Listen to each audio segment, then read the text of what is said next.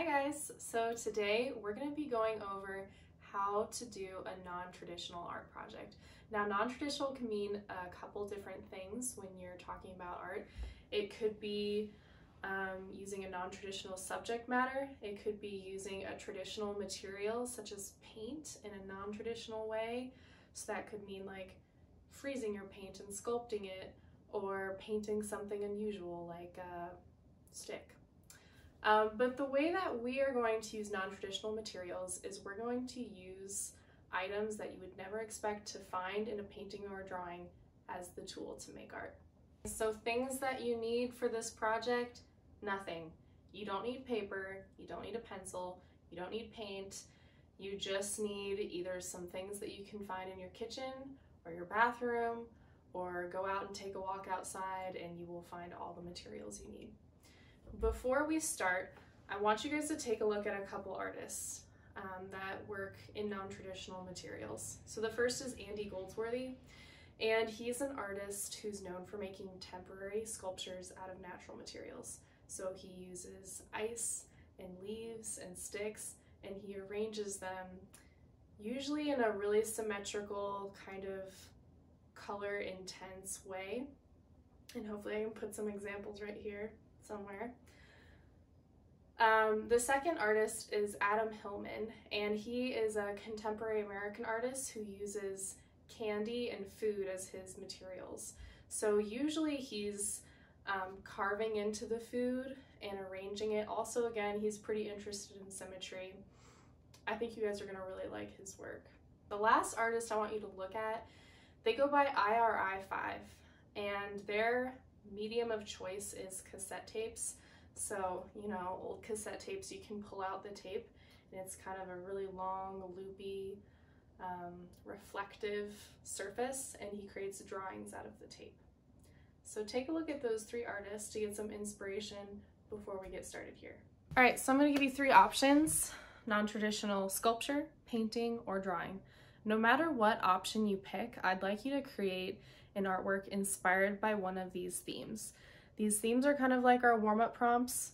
Basically, if you connect to the theme in some kind of personal way, it's fine with me. This is just suppo supposed to give you like a jumping off spot for inspiration. So here are your theme options. Power, fleeting, underground, or boredom. Okay, I want you to choose one of those words and your artwork is going to speak to that idea. So for example, if I chose underground, I could think about things that live underground, things that grow underground. I could do like a fantasy society that's underground.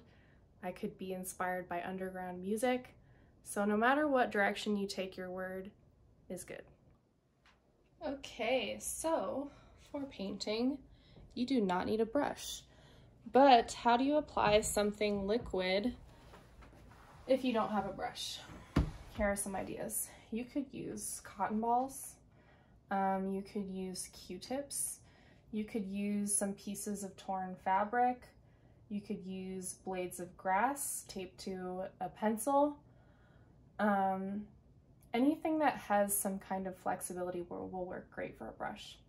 If you do have a brush, you are allowed to use it. You are also allowed to use paper.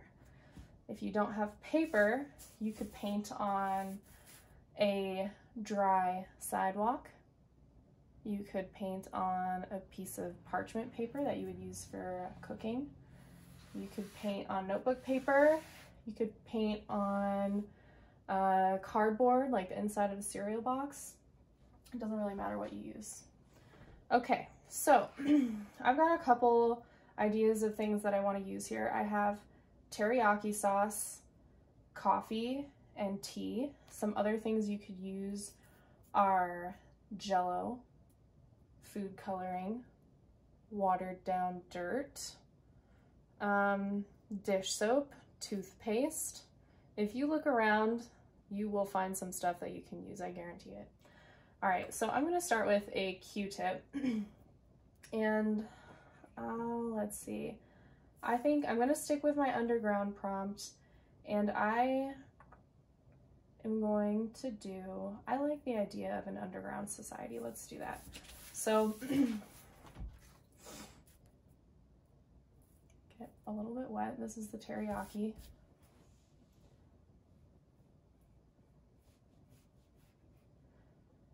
And I'm gonna make like kind of a cave entrance. So it's like maybe you're on a hike and you didn't expect to run into this world at the end of a cave, but you do. So I want this part to have a little more value possibly.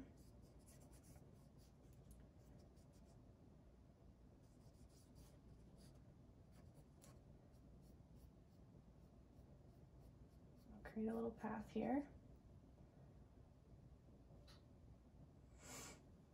Okay, and then in the horizon, I'm gonna draw a bunch of columns and buildings.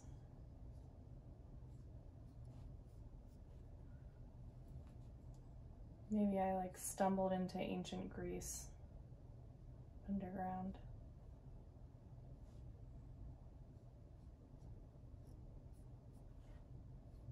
Okay, you can use more than one media in a painting. So now I have tea in here, mint tea. This is definitely a trial and error process. You don't know what the colors are going to look like, if they'll be vibrant enough. You might need to add more than one type of material to your art piece.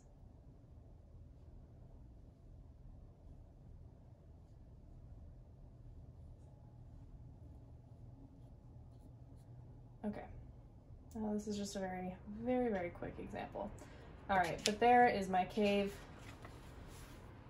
And I've got these two. Okay, that's better. So, like I said, you could use a plate, you could still use paper, you could do it outside, uh, you do it wherever. You might want to keep in mind the value, though, of the surface that you're working on. So if I'm using sprinkles, they'll show up really well on the cutting board, but if I'm using rice, you might want a darker surface. I happen to have a black piece of paper. So,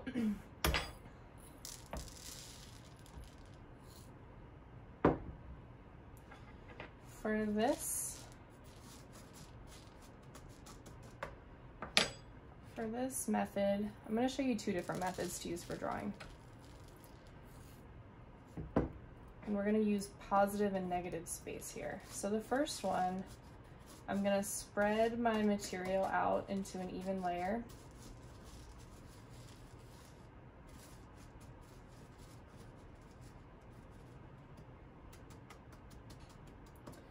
and draw into it. So you could use anything to draw into it. You could use the back of a spoon. I think, again, I would like to use a Q-tip. Uh, if you've got a nail, you could use a nail, a pencil. You could just use your finger. Um, and then we're just going to push things around. the negative space here will become the drawing.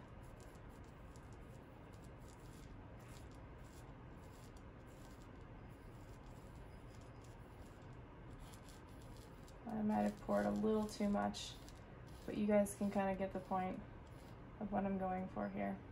Moving things out of the way. The absence of the material otherwise known as the negative space, creates the drawing.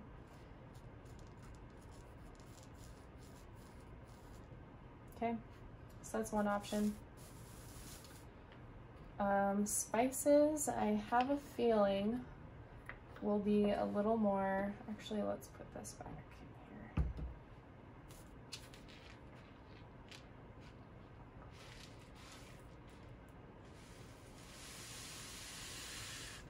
There we go.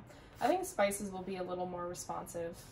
Um, I'm gonna open this all the way up. There we go. Because they're a finer grain, they'll kind of respond a little bit better. Okay, so the second way that you could use um, your drawing materials, you could create the shape itself. So the presence of the material makes the image. So how about I'll make, um, well, we'll see. I'll figure it out as I go. I think I'm gonna make an apple. Again, thinking about underground, apple trees have roots that grow underground. You could do a whole piece inspired by just fruit and vegetables alone. Okay, so there's my apple and its stem. Really challenge yourself to get as much detail as you can. And as with everything, the larger you larger you work, the more likely it is that you'll get um, a higher amount of detail. Okay. It's time for the old cotton ball.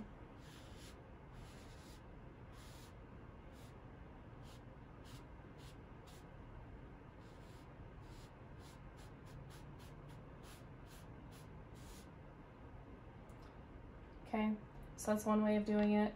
The other way with negative space is the way that we just looked at. So instead of creating the apple